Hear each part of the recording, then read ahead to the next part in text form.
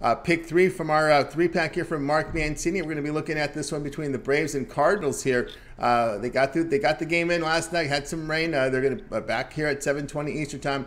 The Braves are going to come favored here, dollar forty-five. The the uh, Cardinals have a take back here as underdogs, a plus one, a 25 in this one. We see a total here of a nine and a half on the mound here for Atlanta. Will be uh, Ian Anderson, who's had a really rough season this year, uh, getting hit, walking a lot of guys. Uh, Andre Pallante, kind of a reliever, trying to get into the in, into the starters role. How do you see this one, Mark?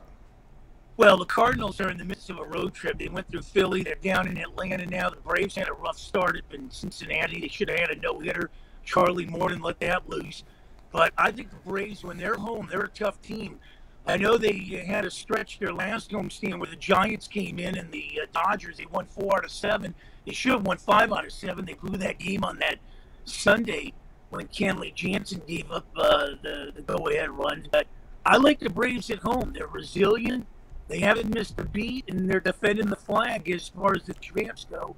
So I'm going with Atlanta. St. Louis is in a hell of a battle with Milwaukee. Different division. But look at what the Braves have done, Tony, of late. They've chopped that lead down to hardly anything. Yep, they sure have. Yeah, Atlanta's a tough out here, especially at home. But again, looking at Ian Anderson, he's just been clobbered. I mean, that's that's the that's the the, the uh, fly in the ointment here for Atlanta.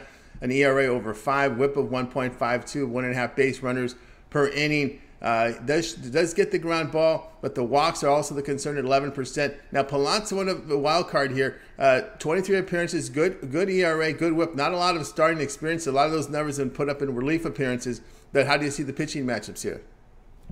Well, I do. I like that. I mean, I, I think Atlanta's, you know, trying to find that pitching. You got Fried, you got Morton, you got some guys there. But you know what? Snitker's done an excellent job of navigating through this with injuries and everything. Albies have been in and out of the lineup. Acuna, you know, look at the whole thing with Freeman. They replaced Freeman with Olson.